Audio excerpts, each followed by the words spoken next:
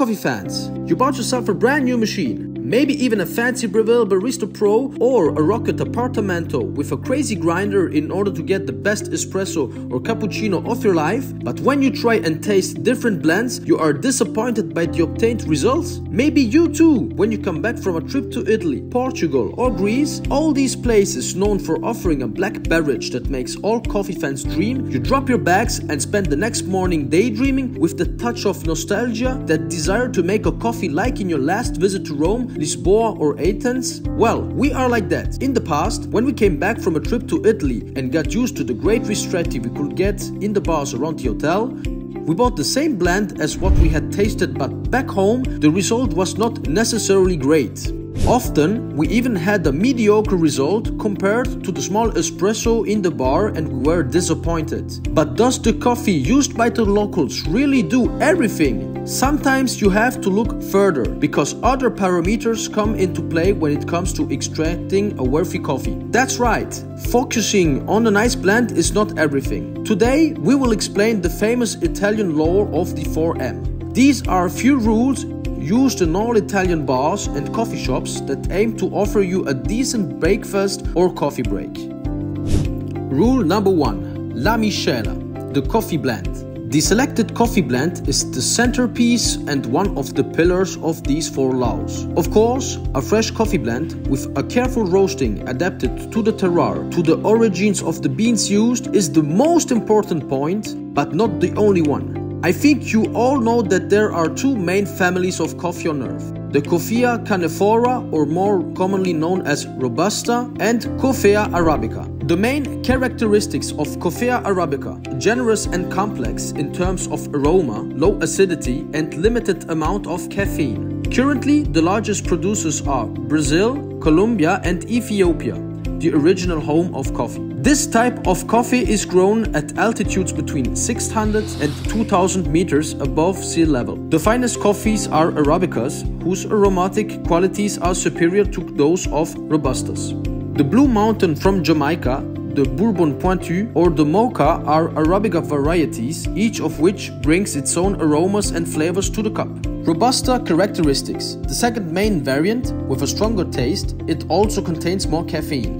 This species takes its name from its characteristics, namely its great resistance to pests and climatic conditions. One of the largest producers is Vietnam. Robusta is often grown between 200 and 600 meters above sea level. We perceive the characteristics of coffee through our senses. We can therefore give a subjective opinion on the appearance, taste and flavor.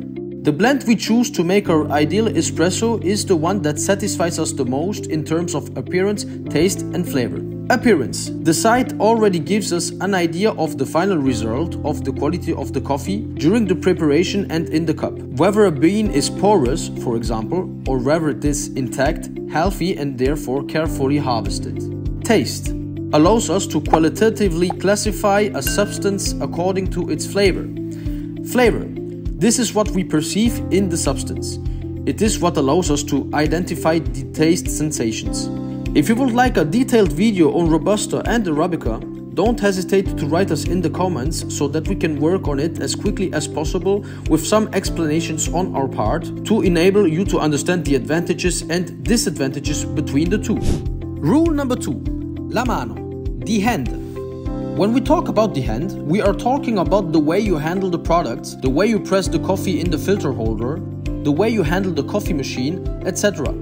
In short, being careful with these tools. Depending on the type of machine you have, you will have more or less factors to pay attention to on a daily basis. The cleanliness of all coffee machines is essential for the preparation of excellent coffee. First of all, the machine must be at the right temperature. Although there is no fixed rule for this, the most suitable temperature is estimated to be around 85 and 90 degrees. Don't hesitate to use a kitchen thermometer to check the temperature of your water.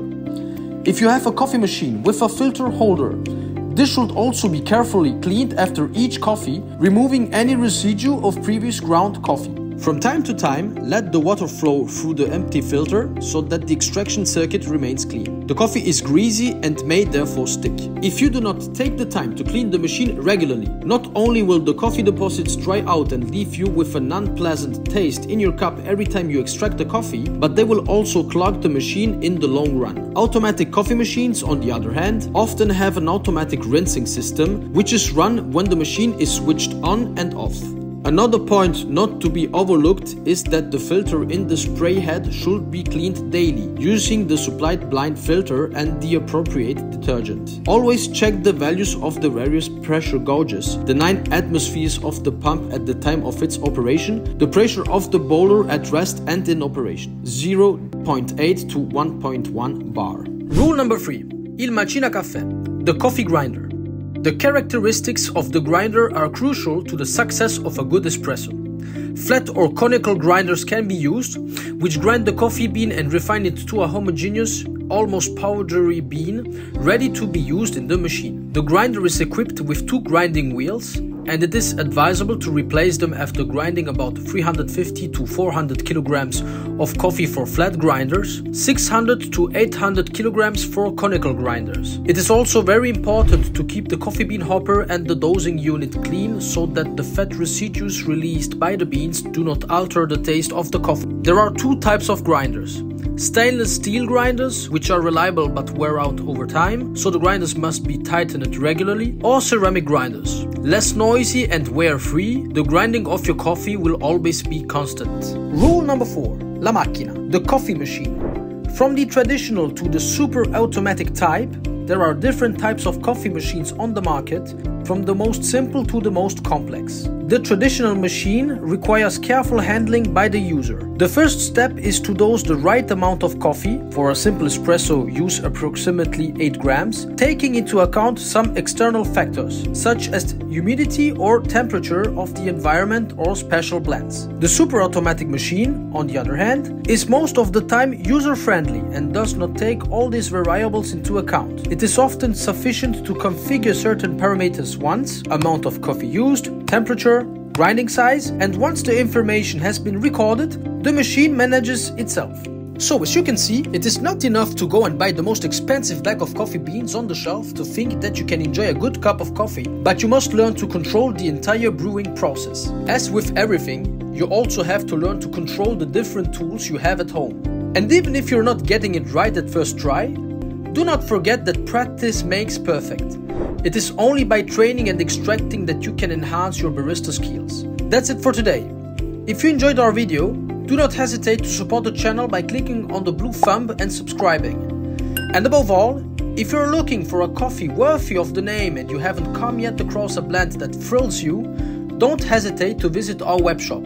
We have put the link in the description of this video. Oh, by the way, if you don't know how to choose your coffee because you have never get any explanation for it, click on the video we suggest. We'll tell you about the different degrees of roasting and their influence on the taste of coffee. See you soon!